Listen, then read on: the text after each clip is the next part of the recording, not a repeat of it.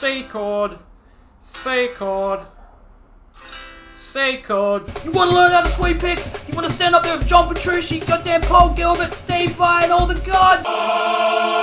You come to the right place, son. Alright, first you're gonna need yourself a pick and a broom.